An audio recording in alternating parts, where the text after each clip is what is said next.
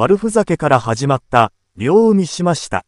が文化放送ですって、両が、超特急のカイ両ががパーソナリティを務める、文化放送の新番組、両海しました。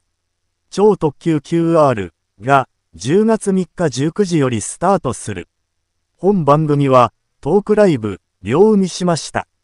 が大好評の超特急メンバー、カイ両がによる初のラジオ番組。イベント、両海しました。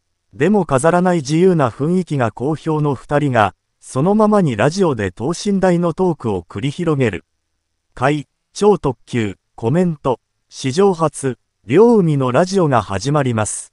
まさかのラジオ、そして文化放送、どんな化学反応が起こるのか期待していてください。両海を知っている方も、知らない方も、楽しんでもらえるようなラジオ番組になりますように。両が、超特急、コメント、ああ、もう取り返しのつかないところまで来ちゃったよ、これ。悪ふざけから始まった、両海しました。が文化放送ですって。ダメだって、両海しました。なんかが、文化、をしょっちゃダメなんだって。